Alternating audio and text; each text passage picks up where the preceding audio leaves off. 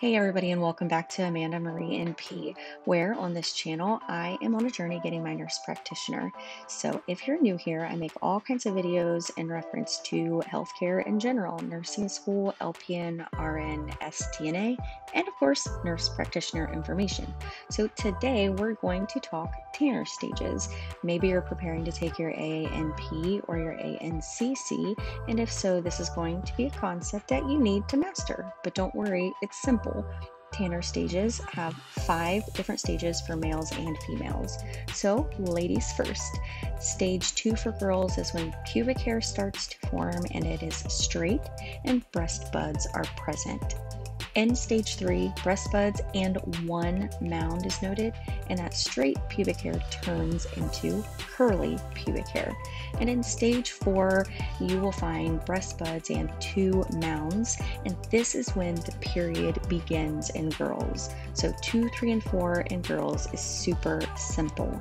Now, in Tanner stages for boys, you will see one similarity here, and that's that the straight pubic hair begins in stage two and the testes and scrotum begin to enlarge in stage two for boys. In stage three, if you hold up your hand, you will notice that your middle finger is the longest.